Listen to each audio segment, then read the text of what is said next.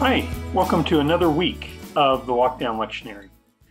All the lectionary passages this week focus on the image of the Good Shepherd.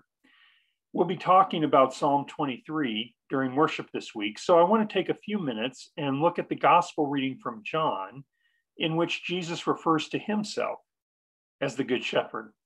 So today we'll be reading from John chapter 10, verses 10 through 15, and this is Jesus speaking.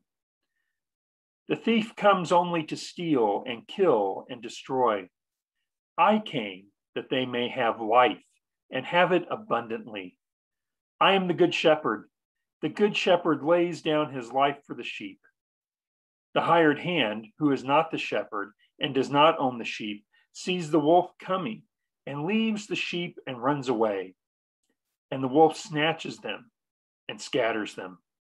The hired hand runs away because a hired hand does not care for the sheep. I am the good shepherd.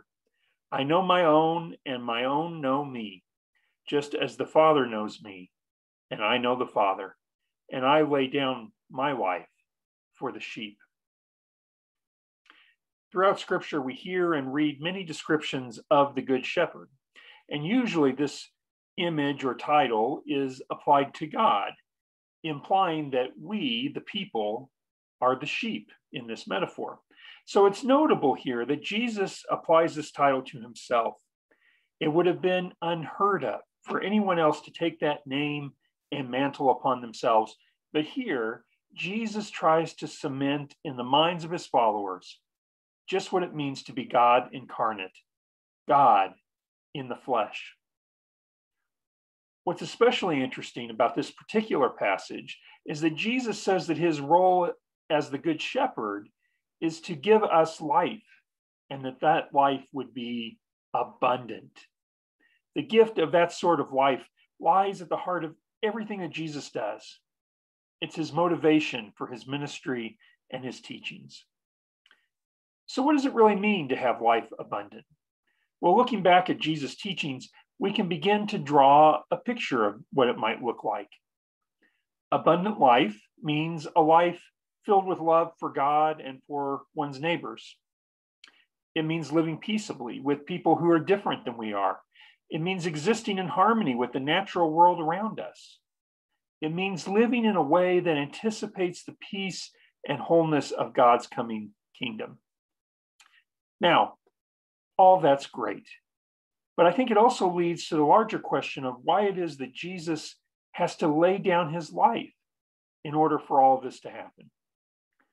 I came across this helpful quote from Professor David Lose as I was doing some reading about this passage. He writes, But why? Why does Jesus, the Good Shepherd, lay down his life? To tell us that we are, in fact, enough. Jesus, especially in John's Gospel, doesn't die in order to make some kind of payment to God or to satisfy God's wrath or to pay the penalty for sin.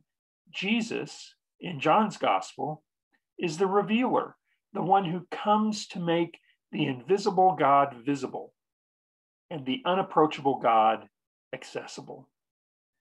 Jesus comes to reveal that God loves the whole world, no exceptions. How often are we able to navigate our lives without making exceptions? It's not easy, for sure, but we find the answer in some of Jesus' initial words in this passage I am the good shepherd. All we have to do is follow his lead. Let's pray. God, we thank you for Jesus and for his gifts of ministry and teaching. Help us to have the courage to follow him. Amen. Well, thanks for joining me today for the Lockdown Lectionary. If you've enjoyed today's devotional, be sure to like or share it on social media so that others might possibly find it helpful as well. There's a musical selection in the comments below, and I'll see you soon. But in the meantime, be safe, stay at home, and wear your mask. Peace